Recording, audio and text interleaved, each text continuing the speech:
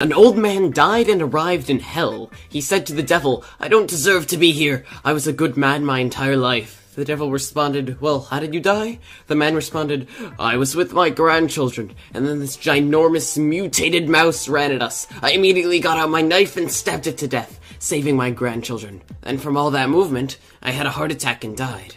The devil said, Oh, well, we should definitely send you to heaven. Where were you when you died again? The man said, Oh, I was at Disneyland.